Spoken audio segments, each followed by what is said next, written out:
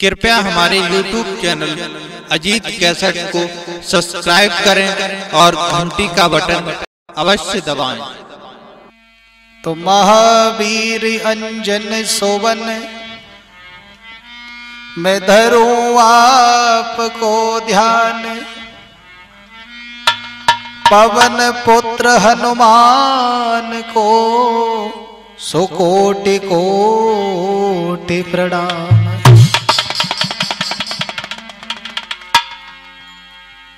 तो काम पिछारी कीजिए और पहले लीजिए नाम।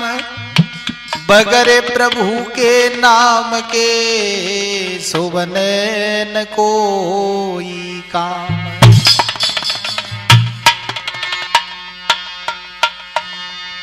तो जय गणनायक गणपते और जय गणराज गणेश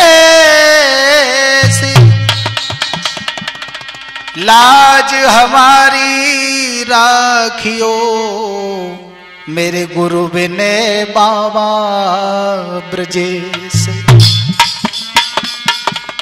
आदरणीय, उपस्थित समस्त श्रोता बंधु मैं संजेश, परम पूजनी गुरुदेव, विनय कुमार शास्त्री जी की असीम अनुकंपा से, व स्वामी श्री भक्तानंद जी महाराज के आशीर्वाद से ये कहानी जो हम आप लोगों के समक्ष में लेकर के चल रहे हैं, रानी मंझा का वनवास,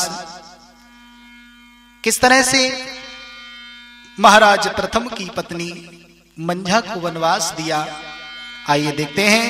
एक बार महाराज प्रथम जो थे, घोड़ा पर सवार होकर के,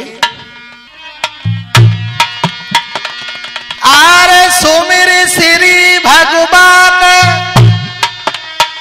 शंभु को ध्यान कियो बलदाई। और खेल न चलो शिकार भूप के घोड़ा लो सजवाई।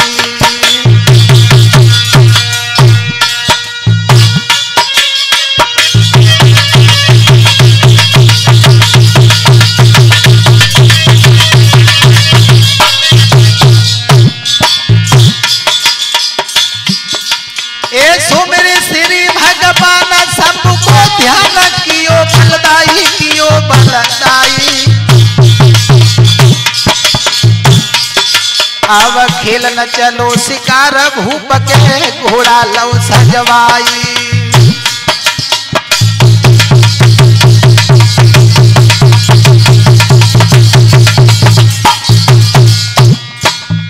एक बार महाराज प्रथम घोड़ा पर सवार होकर के जिस समय जंगल में शिकार खेलने के लिए आगे बढ़े हैं एले मंत्री को साथ खुशी भगात चलो हंसाई चलो हंसाई देखो राजा ने दूर से एक भंगन पड़ी दिखाई। देखो राजा ने दूर से एक भंगिन पड़ी दिखाई।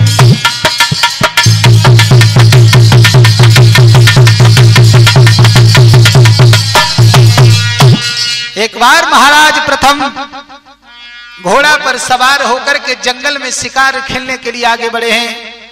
सामने क्या देखा है? एक भंगिन जो थी वो महाराज प्रथम को देख करके उसने ज़मीन पर छपड़ा डाल दिया। हुआ ऐसा। अरे भंगिन झाड़ू रही है, लगाई।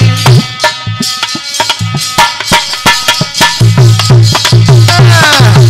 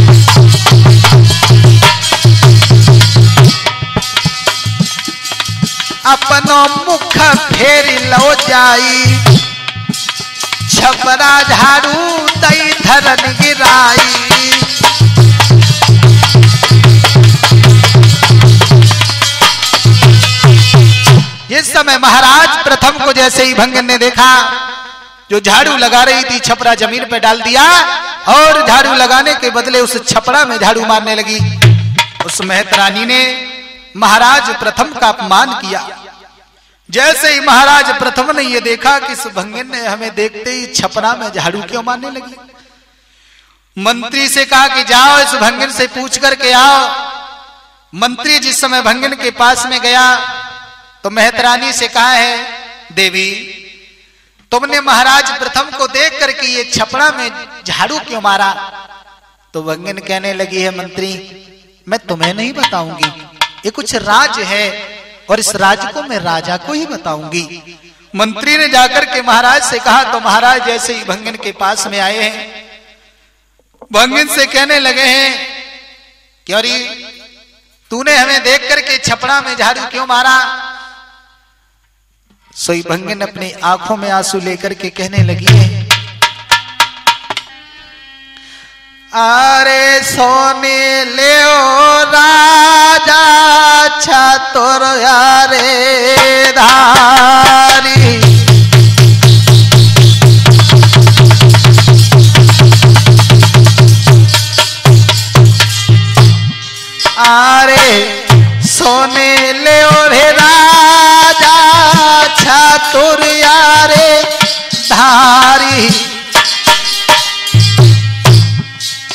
अरे नीच कौम महाराज रे मारी।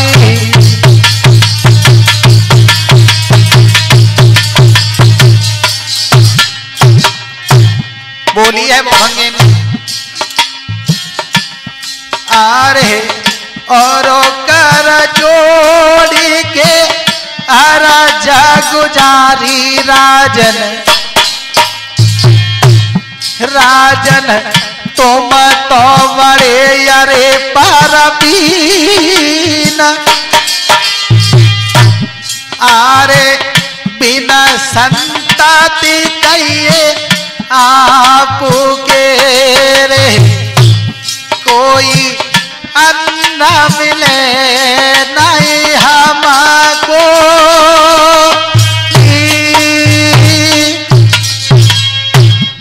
मेहतरानी ने बताया कि आपके कोई संतान नहीं है महाराज। और आप निर्वंशी हो, इसलिए आपका जो मोह देख लेता है, उसे न तो अन्न मिलता है और ना ही पानी मिलता है। इसलिए महाराज, मैंने ऐसा किया। महाराज ने जब सुना,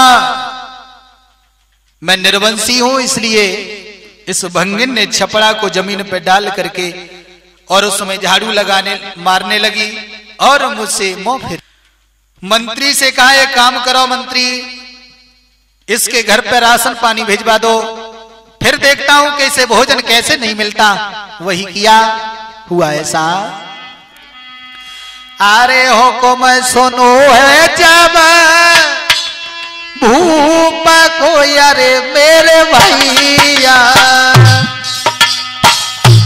कोई मंत्री चलो है तत्काल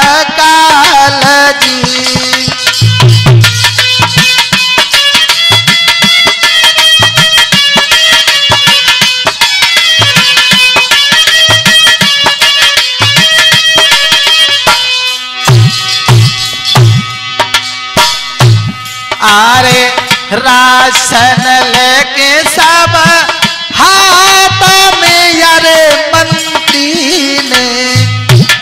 और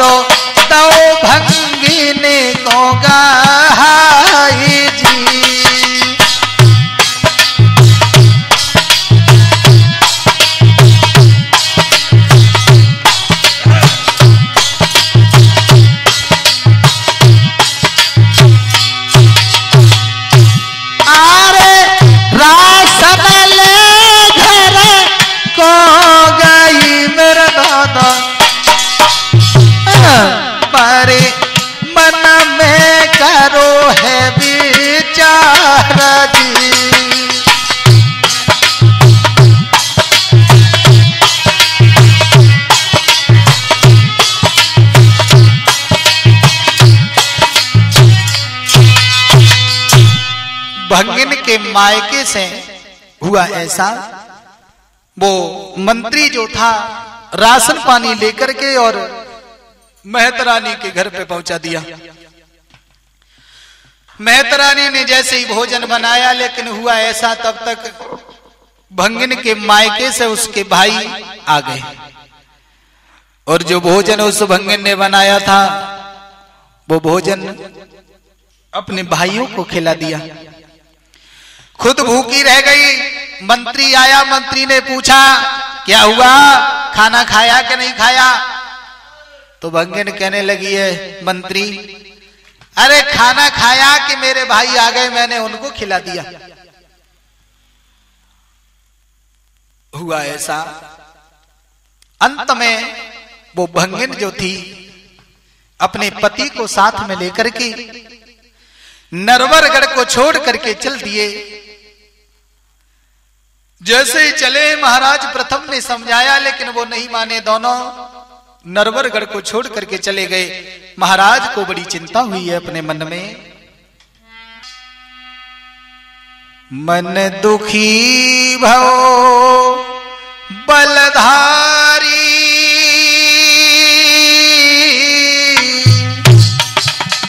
और कहा लीला रची गिर भारी मन दुखी भव।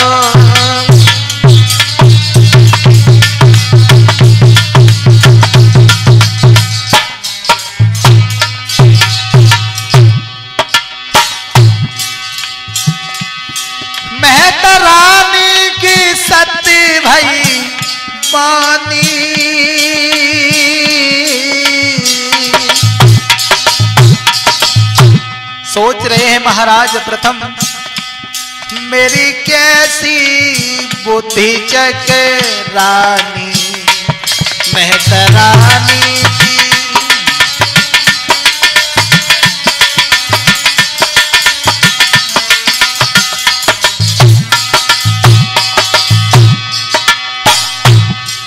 क्या करूँ कहाँ हरे जाऊँ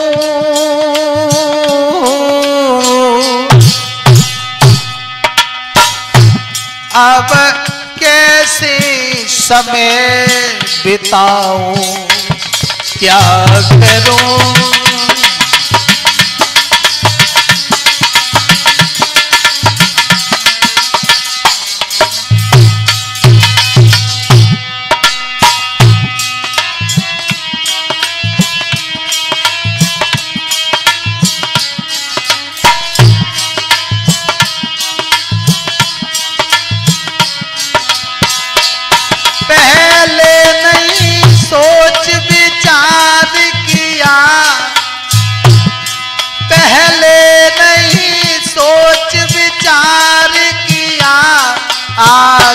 क्या होने वाला है आगे क्या होने?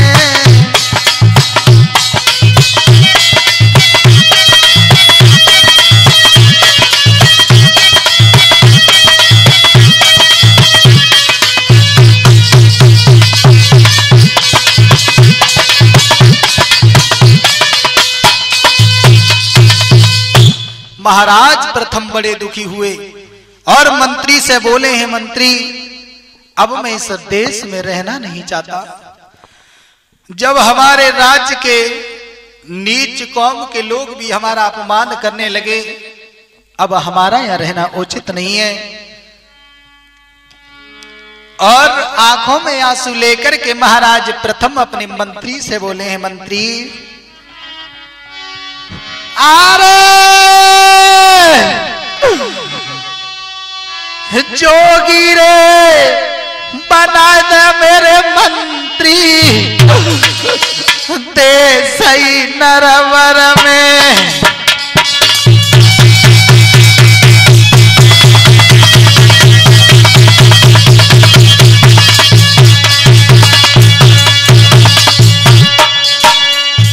क्या बात है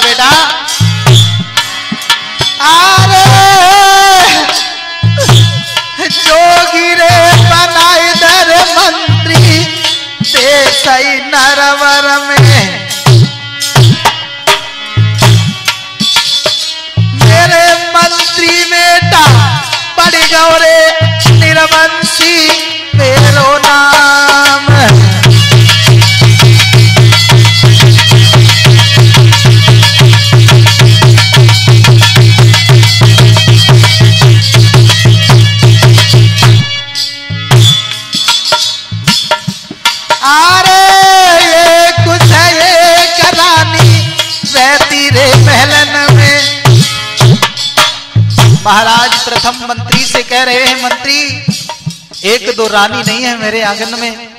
एक सौ एक रानियाँ हैं, लेकिन किसी के भी संतान नहीं हुई।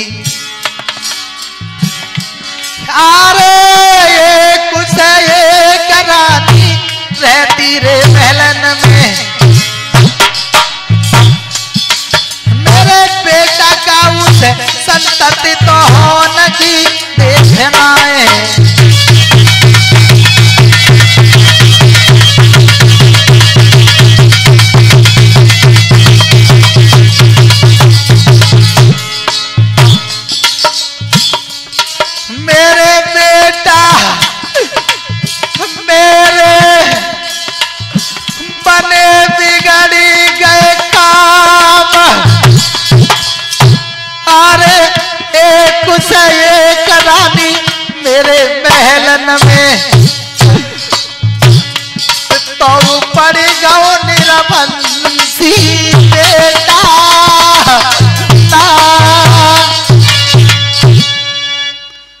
जैसे ही महाराज प्रथम ने मंत्री से कहा, है मंत्री, अब मैं इस राज्य में रहना नहीं चाहता।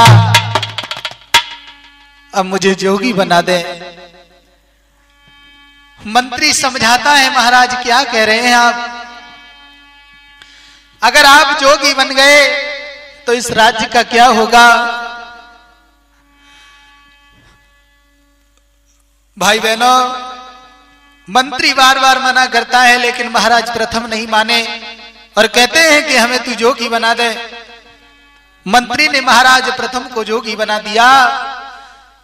इधर में महाराज जो थे, वो जंगल की तरफ़ चले हैं, लेकिन तब तक मंत्री ने जाकर के रानी मंजा को खबर दे दी। जैसे ही रानी मंजा को खबर दी तो रानी दौड़ी दौड़ी अपने पति के पास में पहुँच करके कहने लगी, महाराज, हे नाथ, ये तुमने क्या किया? ये तुमने क्या किया महाराज? और रोकर के कहने लगी है महाराज, जोगी पाती जबते नाय पाती जोगी। जोगी पति जबते नाय पाती जोगी। पिया भरतार रे खेलती माई बाप के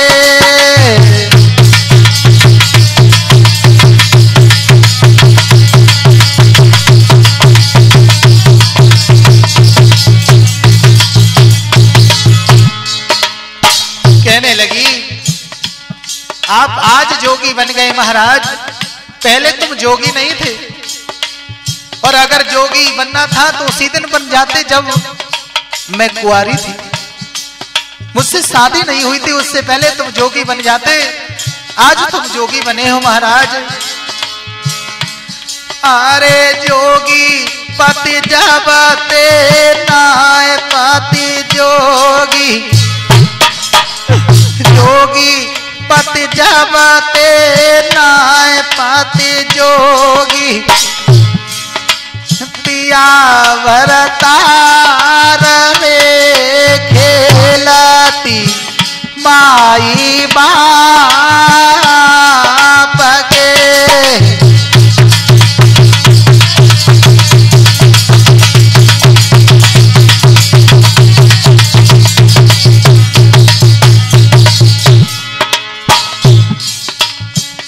जैसे ही महारानी मंझा ने ये कहा तो महाराज प्रथम बोले हैं, रानी, आरे जन्मो तेन नाई कोई अब तक जन्मो। हे रानी, आरे जन्मो तेन नाई कोई अब तक मंझा जन्मो। सो मंझा मेरी नारी कोई बेटा आरे नरवर बीच में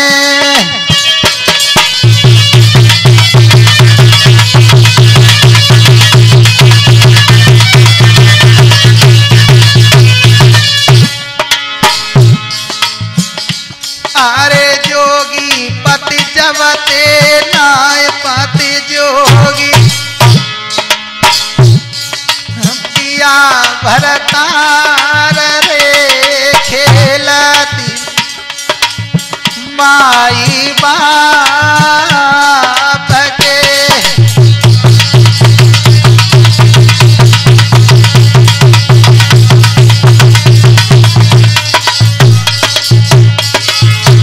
अरे दुल्हा सुनियो ध्यान लगाई। राजा सुनियो ध्यान लगाई जोगी बन के बलमो हमारे। निका जोगिन लइयो रे बना।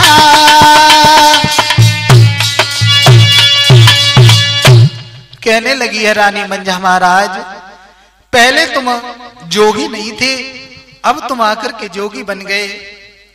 और अगर जोगी ही बन गए तो मुझे भी अपने साथ में जोगिन बना करके ले चलो। महाराज, प्रथम समझाते हैं, रानी। आप घर को लौट जाओ। मैं इस राज्य में अब रहना नहीं चाहता। महाराज, प्रथम से रानी मंझा बार बार जिद करती है तो प्रथम कहने लगे हैं, रानी, अगर तुम हमारे साथ में जाना चाहती हो तो एक काम करो। क्या? बोले, महलों से मेरे लिए पानी ले आओ। मंझा पानी लेने चली है तब तक हुआ ऐसा।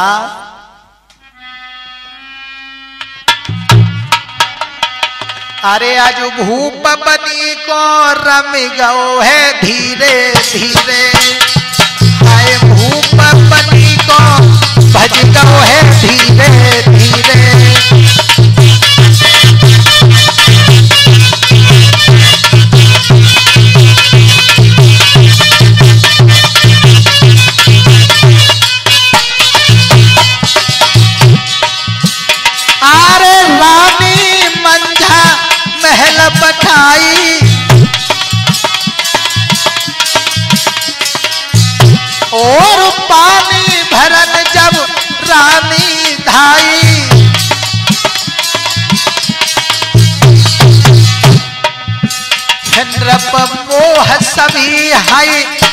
गो है धीरे धीरे। अब भूप बनी को भज गो है धीरे धीरे।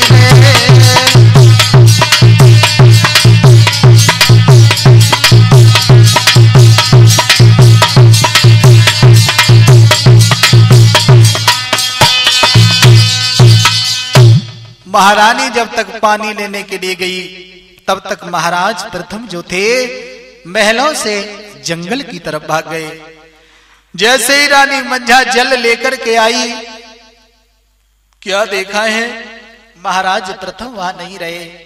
महाराज प्रथम जंगल में चले गए। रानी मंझा पछाड़ खा के ज़मीन पे गिर गई और सोचने लगी, महाराज, आपने अच्छा नहीं किया।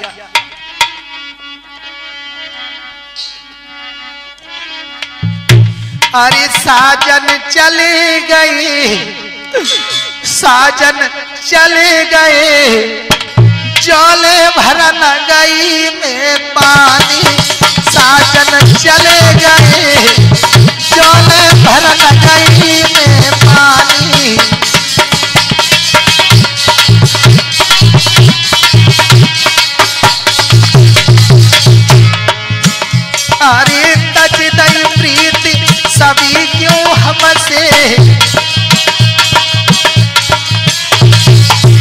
ए, तज दई प्रीति सभी क्यों हमसे?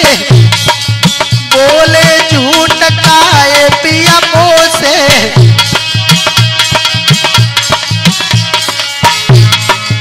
हमको छोड़ गए?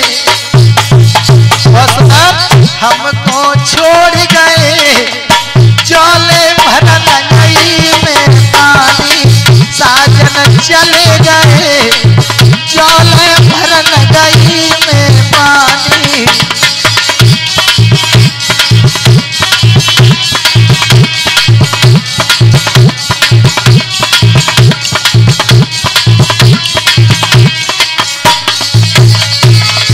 और रानी मंझा सोच रही है महाराज, अरे बिना पति के कैसे रहूँगी?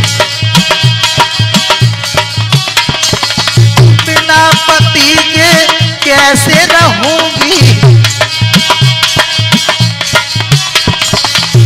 अरे तुम बिना नाई पिया में जियोगी।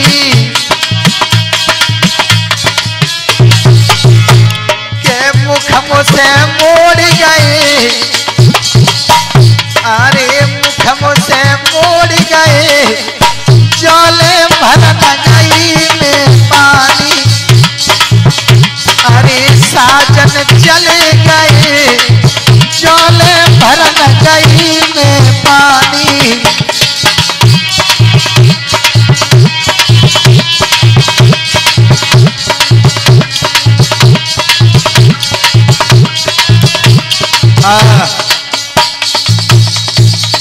महारानी मंझा रोती रह गई और महाराज प्रथम महलों को छोड़ करके जंगल में भाग गए। रानी रोती रही, सोचा मेरे पति बारह वर्ष की कह गए हैं। तब तक इंतज़ार करूँगी। और इधर महाराज प्रथम जो थे, घूमते घूमते घूमते घूमते जंगल में एक आश्रम पर पहुँच गए। हुआ ऐसा आरे घूमत घूमत भूप बनी में एक आश्रम पे आया।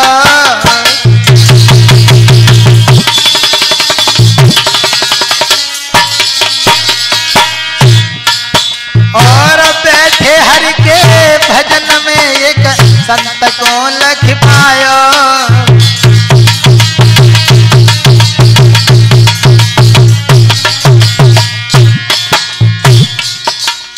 जिस समय महाराज प्रथम जंगल में एक आश्रम पर पहुँचे हैं, उस आश्रम पर एक महात्मा जी भगवान के भजन में बैठे हुए थे। महाराज जोड़ दो हाथ कही उच्चार, और लीजे शरण अपनी बाबा आए द्वार तुम्हार। अब तो हाथ जोड़ बाबा जी दर्द सुधार। अब तो हाथ जोड़ के कही राजा तब अर्ज़ गुजार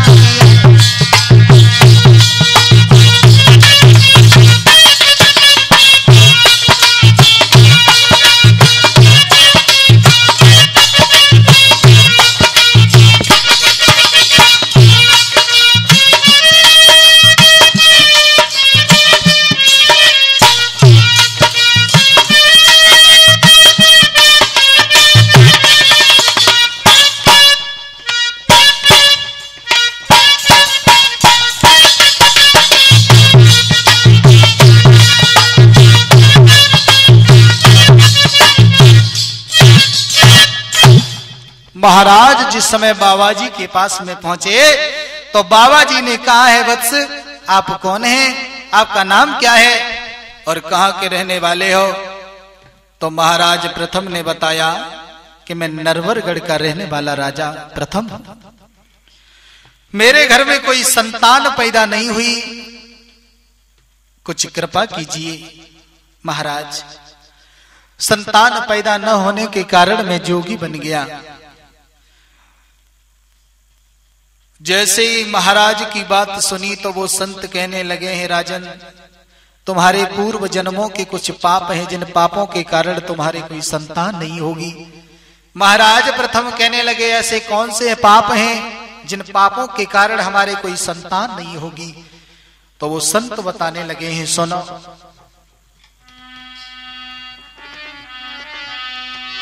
आरे पूर्व जन्म के पाप लगे तो राजा बलकारी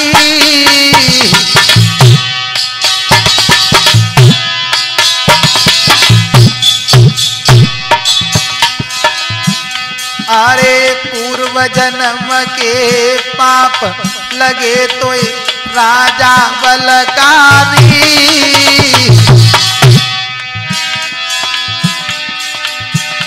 औरता के कारण तेरे महल में भयो नहीं तारी।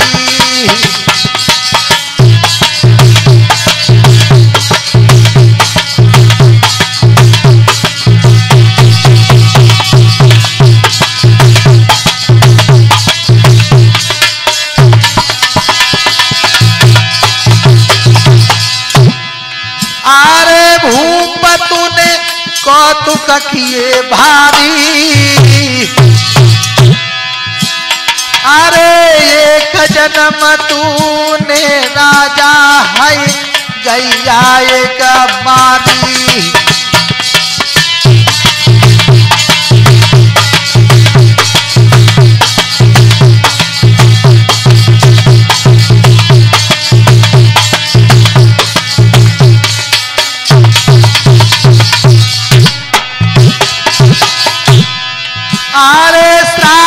गो माता ने दो भारी।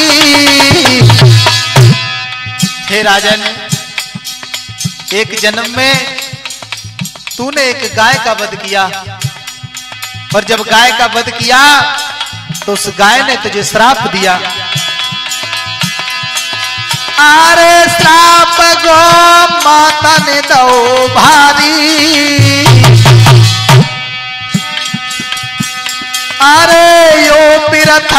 महाराज, तेरे ना होई कोई तारी अरे यो प्रथम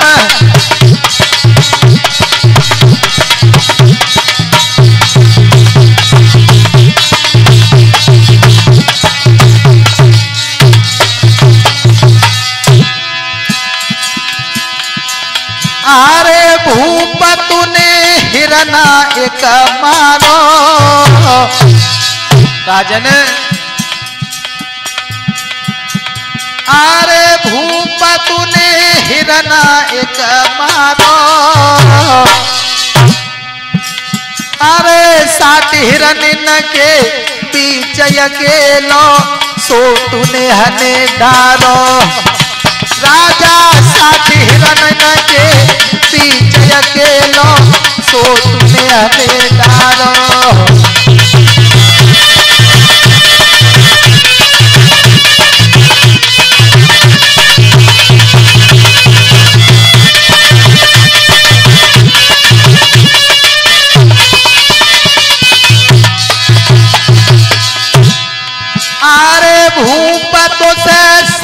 कहूँ बानी।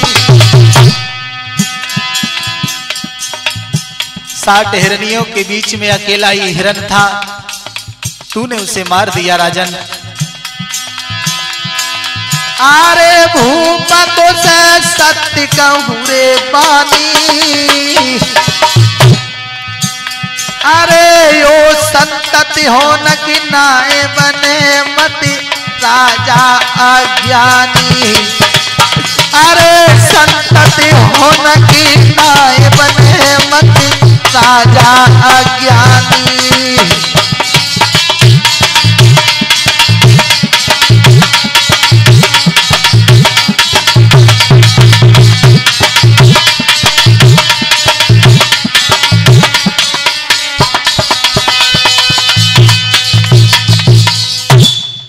महाराज प्रथम से वो संत कहने लगे हैं। तूने पूर्व जन्म में बहुत से पाप किए हैं और उन पापों के कारण ही तेरे कोई संतान नहीं है। हे महाराज, बिना मतलब में अज्ञान मत बनो।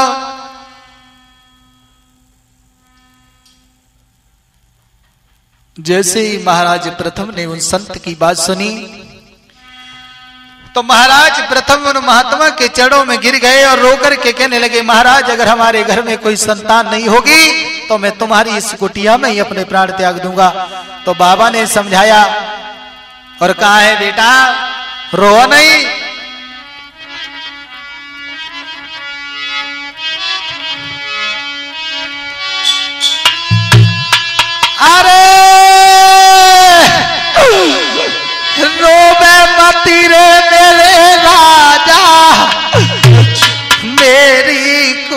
कुटिया में।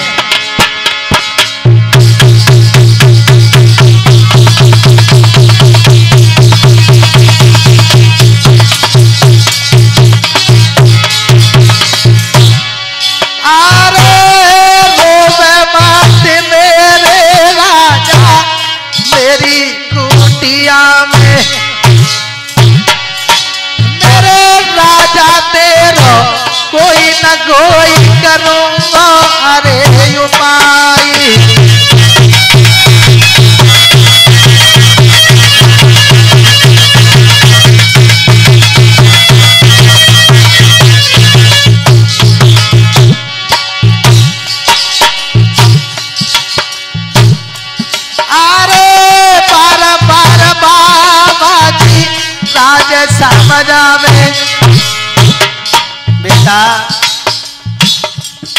तुमने जो कहा है कि तुम्हारी कुटिया में प्राण त्याग दूँगा, वो संत संत नहीं, जिसकी कुटिया में आकर के भी इंसान दुखी होकर के चला जाए, मैं तुझे दुखी होकर के नहीं जाने दूँगा। अरे बारा बारा बाबा देखो समझावे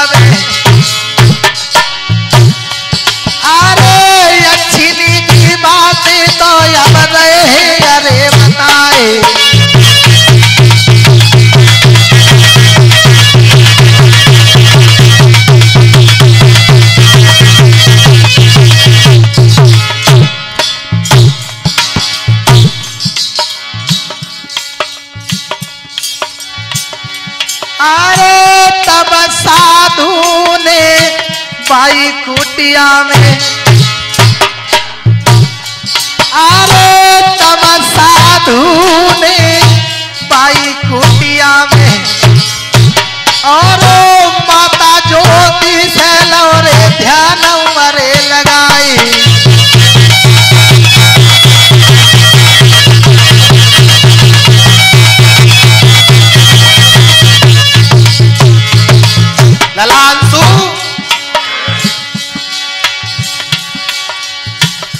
बाबा जी महाराज प्रथम को समझा रहे हैं और माता ज्योति से निवेदन करते हैं माँ।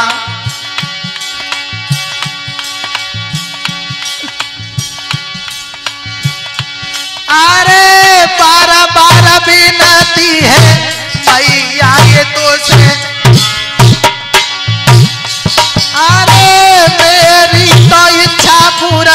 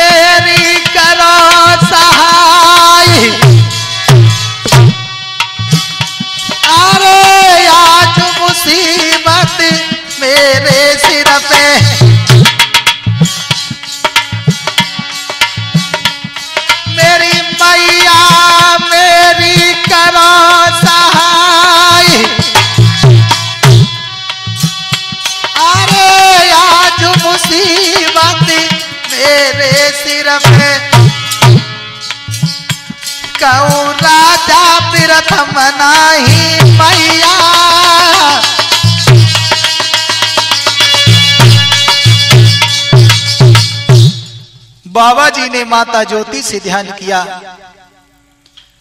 और निवेदन करते हैं बाबा जी माता ज्योति से कि माँ, अगर राजा प्रथम मेरी कुटिया में मर गया तो लोग हमारे बारे में बुरा भला कहने लगेंगे। माता ज्योति से जैसे निवेदन किया, माँ ज्योति प्रकट हो गई और माँ ज्योति ने एक चावल दिया। तो बाबा जी ने वो चावल महाराज को दे दिया और कहा, ये चावल अपनी प्रिय रानी को खिला देना।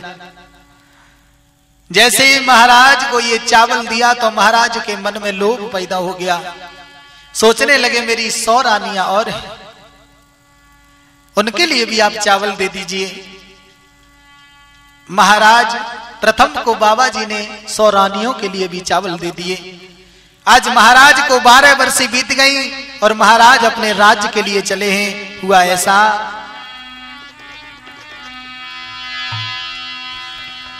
आरे बारह बरस के बाद भूप जब अपने राज्य को धायो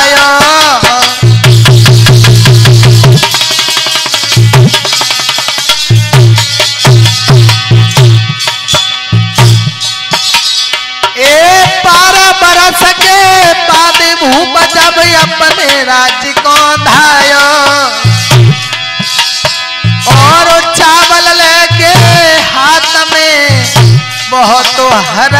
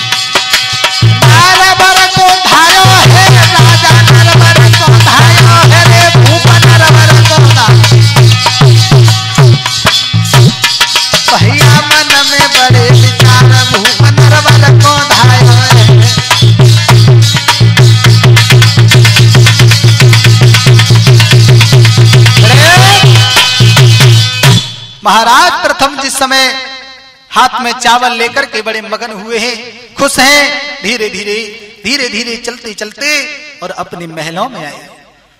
जहाँ रानी मंझा बैठी है, अन्य रानियाँ भी बैठी हैं, वहाँ पहुँच गए। और जैसे ही महाराज रानियों को बैठे हुए देखा, महाराज प्रथम जब पास में पहुँचे तो जैसे ही रानियों ने अपने पति को आते हुए देखा, बड़ा सम्मान किया।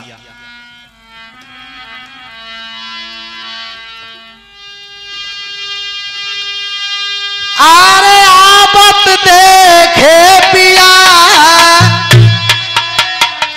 मगन भौहिया खुशी भई बारी। और गया तो बलम को ले गई के घर में वो घर बारी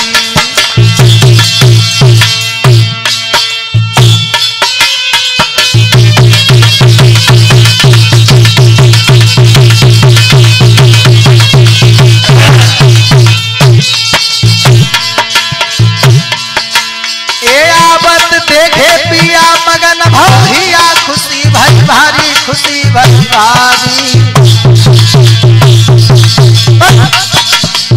हाथ बलम खोले गई के घर में वो घर बारी आय सुंदर डर बैठारी कंत हितकारी खाले डोरे प्यारी अगारी ठारी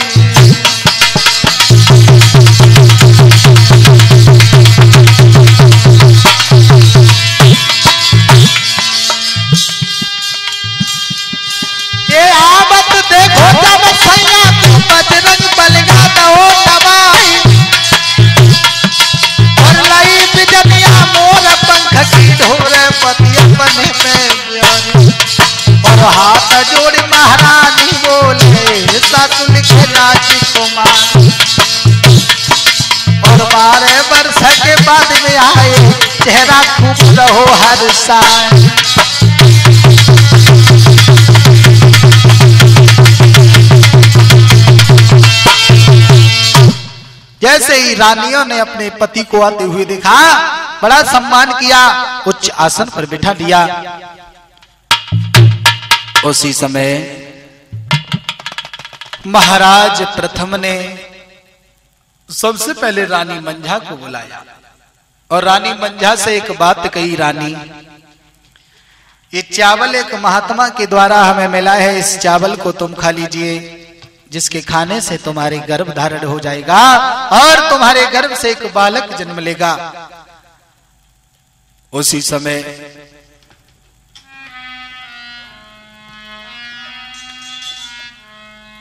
तो चावल खायो नारी ने करे पति चरणन को ध्यान। हरि ऐसी कृपा करी सुभयो गर्भवाधान जैसे मंझा ने पति का दिया हुआ चावल खा लिया, मंझा गर्भवती हो गई, अन्य रानियों ने विचार किया, अगर मंझा के गर्भ से बालक पैदा हो गया तो हमारा तुम्हारा ठिकाना नहीं रहेगा।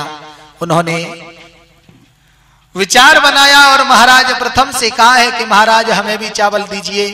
तो महाराज प्रथम ने अन्य सौरानियों को भी चावल दिया। सबने चावल खाए।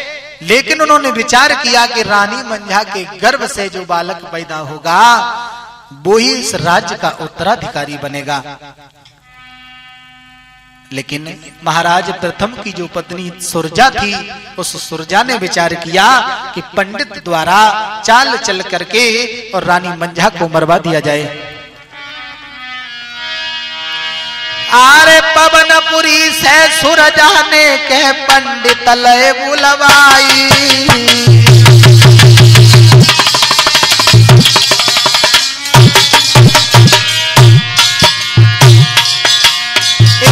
पवनपुरी से सुर जाने है पंडित लय बुलवाई।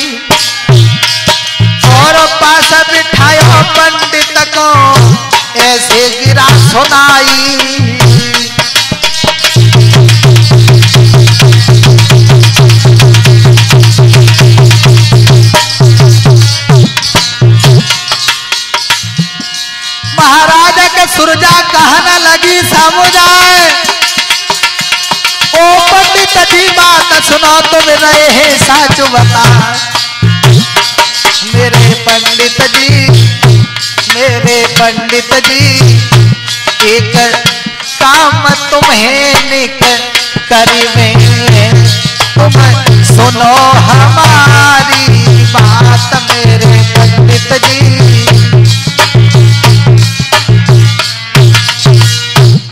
सुरजा कहने लगी है, पंडित जी, तुम्हें एक काम करना है। बोले, क्या काम करना है? बताया, मंझा गर्भवती है और उसके बालक पैदा हो गया तो हमारी इज़्ज़त नहीं रहेगी, हम कहीं के नहीं रहेंगे, इसलिए पंडित जी, तुम एक काम करो।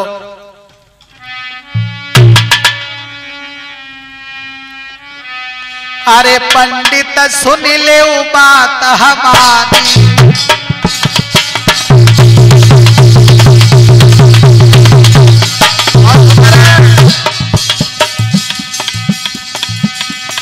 पंडित सुन ले बात हमारी और मरवाए दे मंझा प्यारी।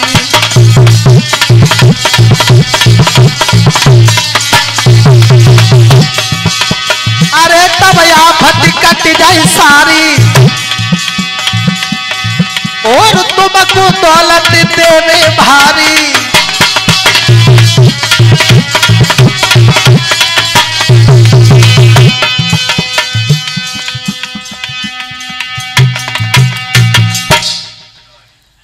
सुरजा ने कहा, महाराज, तुम रानी मंझा को मरवा दीजिए। और अगर तुम रानी मंझा को मरवा दोगे तो मैं तुम्हें इतनी दौलत दूँगी कि कभी किसी के द्वार पर तुम्हें मांगने की इच्छा नहीं होगी। पंडित जी कहने लगे, हैं रानी, मैं महाराज को क्या बताऊँगा, क्या बहाना करूँगा? तो सुरजा बोली, तुम अपनी पत्रा देख करके कह देना कि मंझा के गर्भ से सनीचर पैदा होगा। और जो सनीचर तुम्हारा नाश कर देगा। इतनी बात सुनकर के पंडित जी चले। राजा के पास महाराज ने कहा आइए पंडित जी उच्च आसन पर बैठा लिया। पंडित जी कहने लगे महाराज नरवरगढ़ पर बहुत बड़ी मुसीबत आई है। क्या? हाँ राजा बोला कैसी मुसीबत आई है? तो पंडित जी बोले सुनो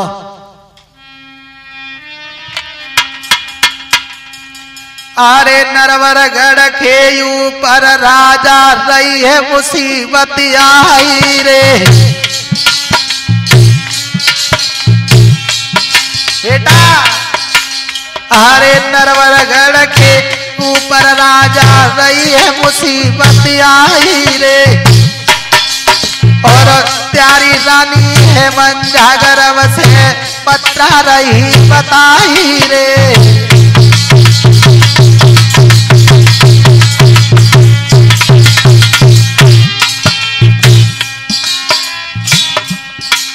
और होई शनिचर पैदा गर्भ से।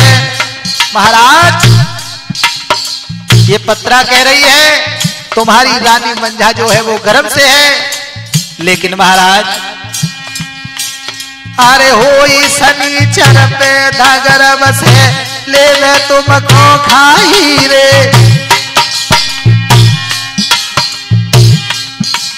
और तुम मर राजा त्यारो नाम डूब यही राही रे।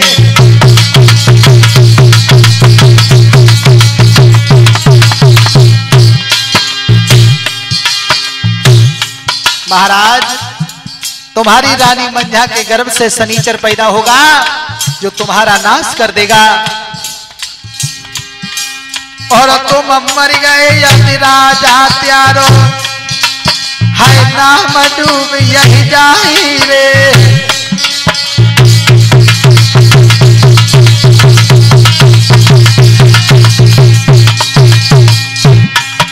मेरे राजा तुमसे कही दई रे।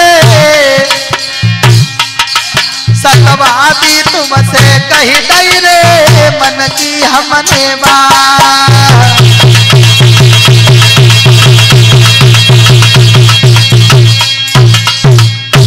पंडित जी ने राजा को बहका दिया और महाराज प्रथम का चेहरा जो था वो सुस्त हो गया। अब महाराज महलों में गए रानी मंझा ने अपने पति को आते हुए देखा। बड़ा सम्मान किया, बहुत सम्मान किया, उच्च आसन पर बैठा लिया। लेकिन सुस्त चेहरा को निहार करके रानी ने प्रश्न कर दिया, महाराज, क्या कारण है जब कभी आते थे तो बात बात पर हंसने का स्वभाव था तुम्हारा। लेकिन आज तुम्हारा फूलों जैसा चेहरा मुरझाया क्यों है? और रानी महाराज प्रथम से प्रश्न करती है कि किस कारण से प्रियतम प्यार और कई तन की बदले रूहानी है।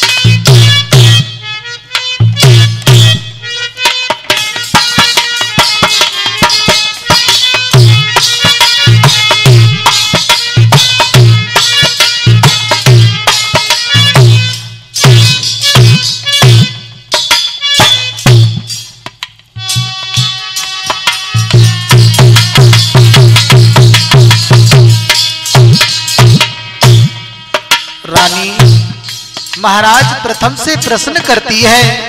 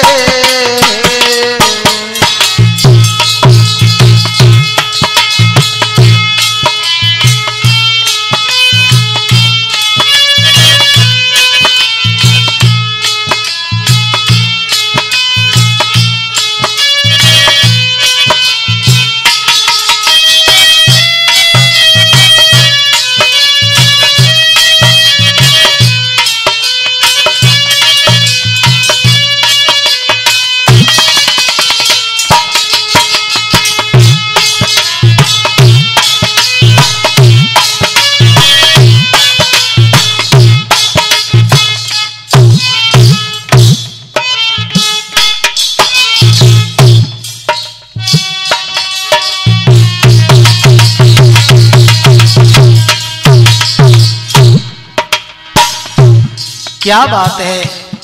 आप क्यों सुस्त हो महाराज? क्या भूखा संत गया तर से जी? क्या भूखा संत गया तर से? या दुख में कोई संगी न हुआ?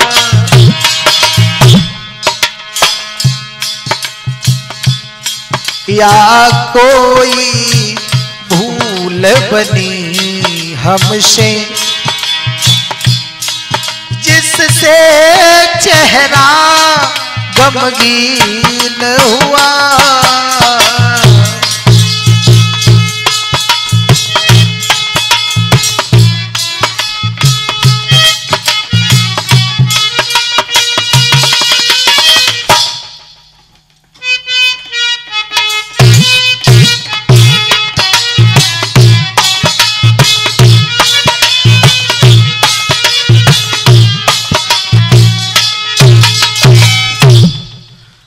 जैसे ही महारानी मंझा ने अपने पति महाराज प्रथम को आते हुए देखा बड़ा सम्मान किया, लेकिन सुस्त चेहरा को निहार करके रानी ने प्रश्न कर दिया, महाराज, क्या कारण है?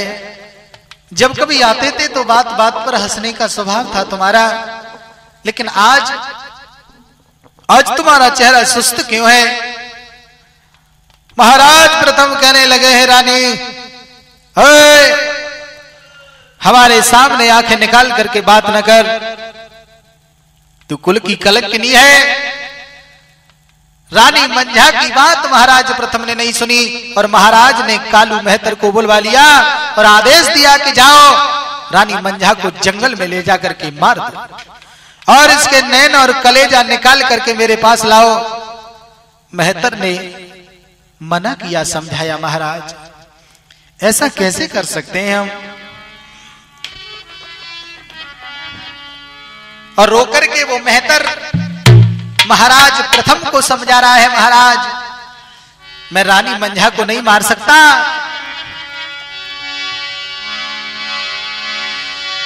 अरे सुन ले रे राजा मेरे, सत्य मेरी वाणी।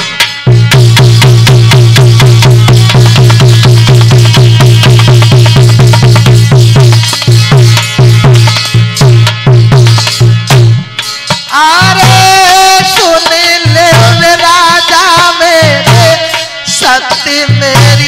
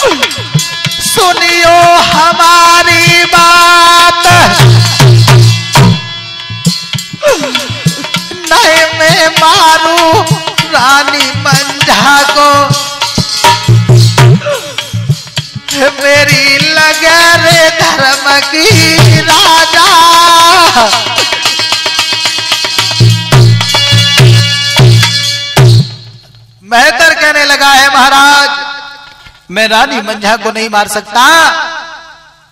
क्योंकि रानी मेरे लिए धर्म की माँ है। भाई बहनों, महाराज प्रथम कहने लगे हैं मेहतर हमारा आदेश है। और अगर तूने रानी मंझा को नहीं मारा तो मैं तुझे फांसी लगवा दूँगा।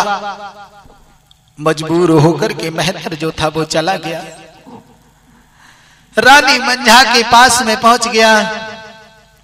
रानी मंझा ने जैसे ही मेहतर को आते हुए देखा तो मंझा कहने लगी, है आइए, कैसे आना हुआ? मेहतर कहने लगा, रानी, कुछ मत पूछो। महाराज ने तुम्हें मारने के लिए हमें भेजा है। रानी मंझा ने जैसे ही इतनी बात सुनी तो कहने लगी, है बेटा, इसमें तेरा क्या कसूर है? कसूर तो मेरा है। कसूर तो मेरा है, जो मेरी किस्मत में लिखा है, वो होना है। लेकिन तू अपने फ़र्ज़ को निभा मेरे लाल। आज वो मेहतर रानी मंझा को लेकर के चला है।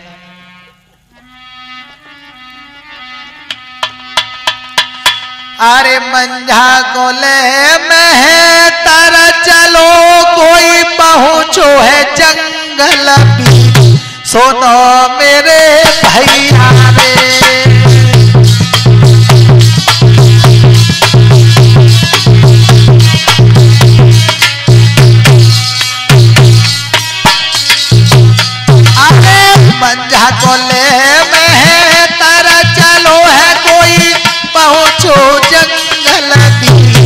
सुनो मेरे दादा रे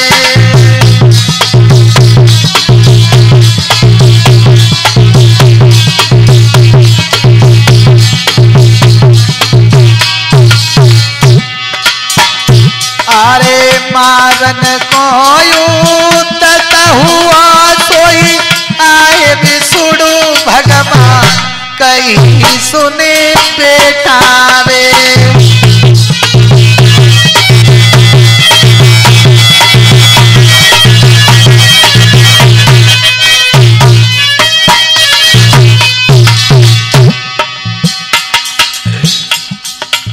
जैसे ही मेहतर रानी मंझा को लेकर के जंगल में पहुँचा है भाइयों, और जैसे ही मंझा को मारने के लिए उद्यत हुआ, तब तक भगवान विष्णु प्रकट हो गए और कहने लगे, हैं, रुक जाइए मेरे लाल।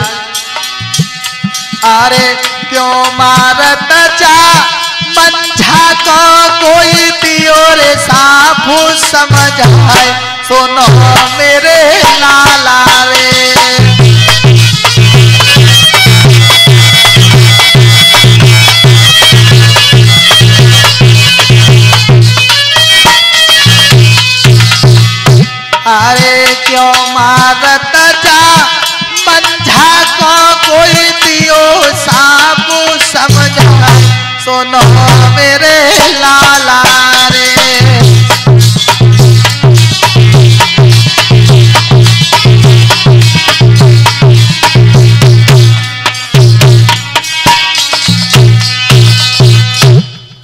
भगवान ने मेहतर को रोक दिया और माया रूपी मृग को मार करके मेहतर उसके कलेजा और नैन निकाल करके नरभरगढ़ में चला गया। राजा को दिखाया। राजा ने कहा, तूने मंझा को मार दिया। बोले हाँ इसके पेट में से क्या निकला था? तो मेहतर बोला, है महाराज, जब उसका पेट फाड़ा तो उसमें से तुम्हारे जैसा एक बालक निकला। जैसे इतनी बात सुनी तो महाराज प्रथम ने बड़ा ही शोक प्रकट किया, बहुत ही दुख हुआ महाराज प्रथम को। सोचने लगे, मैंने रानी मंझा को व्यर्थ में मार दिया दूसरे के कहने पर। महाराज प्रथम को बड़ी चिंता हुई।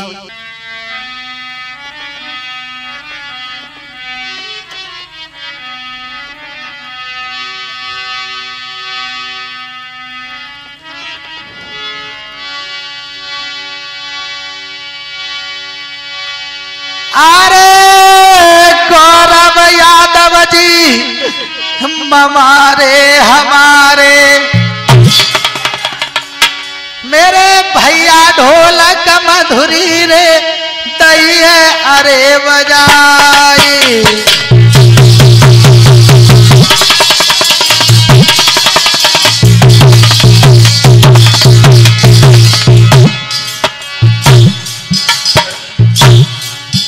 अरे पुष्पेंद्र